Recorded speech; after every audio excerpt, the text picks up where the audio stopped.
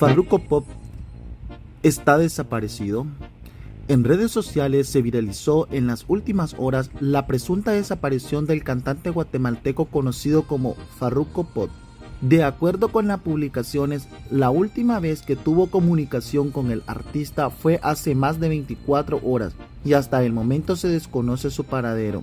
Según indicaron sus allegados, no se trata de un show para crear polémica, ni de contenido falso, sino de una desaparición real. Solo se sabe que Farruko Pop viajaba a la ciudad de Guatemala y se encontraba en la casa de sus hermanos. Además, que su teléfono está apagado. Aparentemente, Farruko Pop salió de la casa de sus hermanos en horas de la tarde de este lunes, pero ya no se supo de su ubicación. Tampoco se presentó este martes a sus clases de canto.